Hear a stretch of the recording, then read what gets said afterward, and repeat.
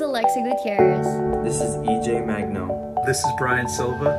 Let's pray together. Lord, we come before you in confidence, knowing that you are a merciful and loving Father who hears our prayers.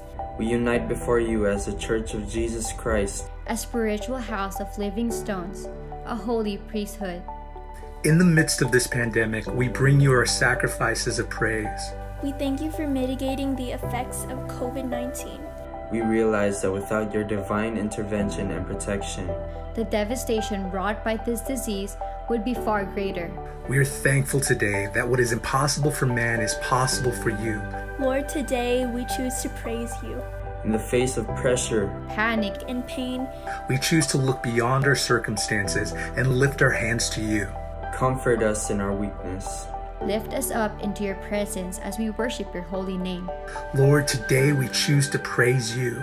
Your church unites to lift up sacrifices of praise.